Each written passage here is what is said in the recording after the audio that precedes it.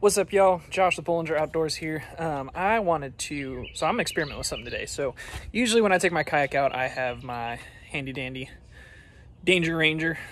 I call him Ranger Joe. Um, and I'm able to get my kayak um, in the back here and kind of have it um, up on the top. And then I just have uh, three total ratchet straps I use to secure it.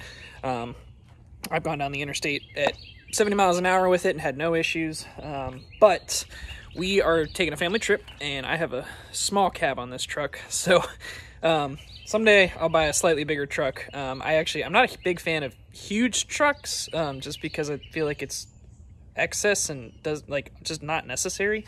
Um, I think the, anyway, I'm not going to get off on a tangent. Cars are too expensive. Um, they're a waste of money and they don't they're they're not an investment. Um, so they end up costing you more money in the long run. Um, and you can might look cool for a while, but eventually you lose all that money to nothing. I mean, I guess you get utility, but anyway. Um, so what I'm gonna do, um, you can see I've actually kind of started already, um, but I'm just gonna document this so I can share it with y'all. Uh, what I'm actually gonna do is um, we so we got to take the van. Um, let me start at square one. We got to take the van uh, so we can get all our family in there, make sure our kids are nice and safe and secure. Um, but our van does not have a roof rack. Um, so uh, I'm going to show y'all how I'm going to how I'm going to work with that um, and how I'm going to get my uh, 12 foot kayak on top of it um, and uh, and uh, how we're going to make that happen. So stick with me. All right, so um, I went to Lowe's earlier this morning and just bought, this is just pipe insulation. Um, usually it's like cut through, but this just has a slit in it, so it's kind of cool because it's not completely cut through, but um, essentially these are glorified pool noodles, um, but I think this foam's a little bit higher density um, than pool noodles is. It might not be, these might just be pool noodles that are black. Um, but anyway, uh, what I'm gonna do is just, um, we gotta clean this van before we go too. Um, what I'm gonna do is just get a quick measurement of the roof uh, figure out about how long I need these. Try not to scrape this up too bad.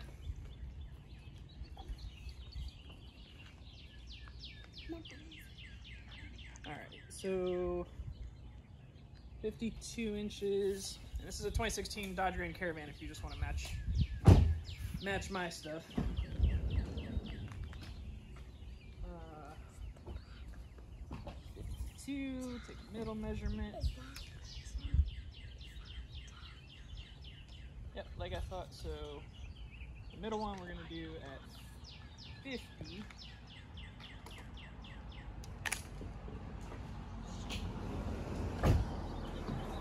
Back one. Uh,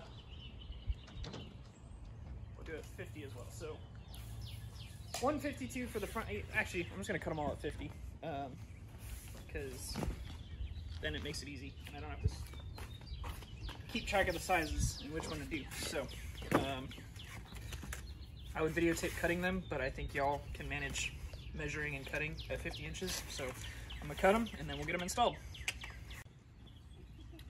All right, so um, I've just got some rope here, uh, and what I'm gonna do is just pass it through these.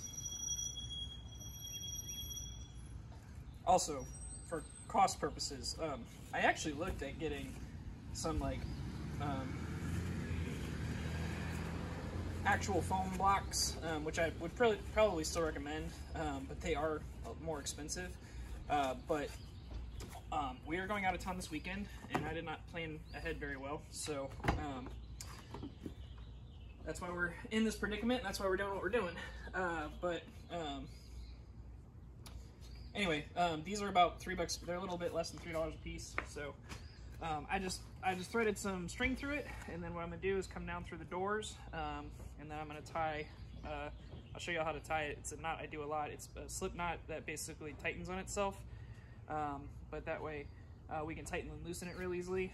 Um, and so I'm gonna do one here, and then I might actually only be able to get two on here.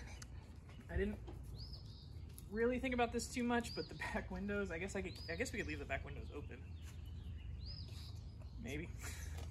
Kimmy's giving me the, she doesn't know look. Um, but uh, if I'm gonna do one in the rear, I'm gonna probably have to vent our back windows and tie that in. Um, I might do that anyway, so I can put an extra strap through there, um, just make sure it's secure since it's a really big kayak. Um, but anyway, throw that on top. And come over here to the other side.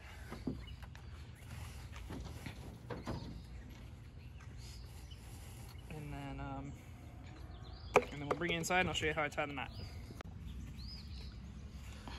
Okay, so Kimmy had a good idea. Um, we actually have these grab bars in here, um, and instead of tying this first one above our heads where our heads might rub against it, especially mine because my head kind of hits the top of this anyway, um, we're going to tie these front ones to the grab bars on each side. Um, so there's nothing real special about the knot for that one, um, but uh, I mean, it's going to be basically an overhand knot with a half hitch to keep it secure. Um, so that's all we should really need on this side. And then uh, we'll go to the other side and tie that one. Okay, all right, so here we are on the other side. Um, the seatbelts are kind of in the way-ish. Um, I'm not overly concerned about it. Um, I might actually tie that knot on this side though. Um, so just to show y'all how that works. Um, to tie that tightening knot, you just do two loops. Um, if I can remember how to tie it. All right, so you come up and you do two loops kind of like on the back side, like under the knot. See that? And then you bring the your tag end around and then do two loops on the front side of it. And then tighten them up together and um, you kind of got to just work it until it gets tight.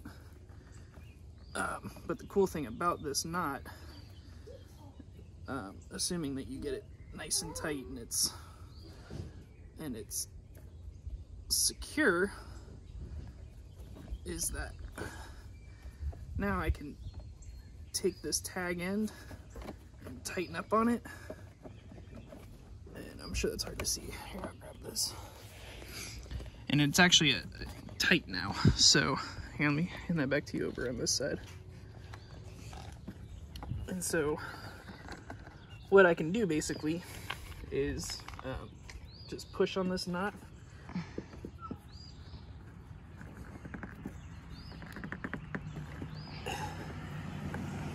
And it tightens up.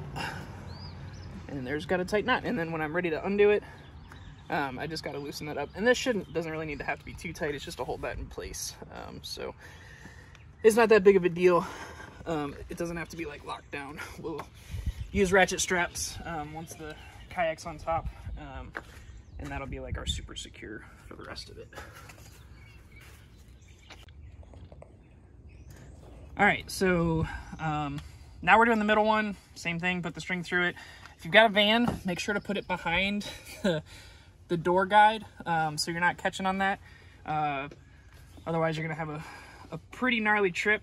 Um, just to show you this knot again. So here's my two pieces of string. I'm gonna wrap the first one and then, and you wanna try to keep this as tight as you can while you're doing it because it just makes it easier to, for it to be tight when you're done. And then you do your second one, okay? And then you come over to the other side of it and then I'm gonna do two. Some people some people do one wrap on this side, um, and a lot of times that's actually sufficient. I do two, um, so it's just kind of kind of your preference, and then you just want to work that in until you've got a good tight knot. Um, and essentially, you're gonna you can take these two and tighten them, and then what I can do now is I can pull on that knot and create, look at, I mean, look at how tight that is. And then if you want a little extra security, you can take these tag ends and just do a half hitch. Um, and put that half hitch on each side of it. Um, this one's not really gonna do anything, but um, I can do a half hitch here too. And this is my daughter that feels incessantly the need to be in every video. And then I'm gonna take these tag ends and just kind of wrap them around here so my my one and a half year old doesn't decide it's playtime. Hopefully my two year old doesn't decide it's playtime with him either, right? She's confused because you called her two. Or my six-year-old. yeah, sorry. Getting old. Um, all right, cool. So, if my wife would be so kind to show the top of that. Uh, so there we got our two noodles, and then I think I'm gonna go ahead and put one more in the back. Um, but my wife has got to get to class for the gym, so um, we'll do that when she gets back. All right, um, so we got the last one on. So here's just to show y'all what it looks like.